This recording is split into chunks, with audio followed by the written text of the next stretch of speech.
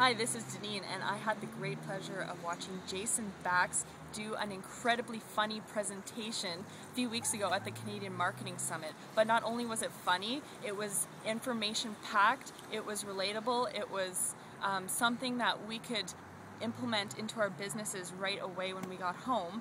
And that's absolutely what I loved about it because I was sitting there for four days watching a lot of other marketers talk and present, and I almost fell out of my chair because I was bored. They weren't giving enough value, they weren't giving any information that was applicable to my business. Um, so, Jason Bax, he rocks, and I would highly, highly recommend that you go and watch his presentation.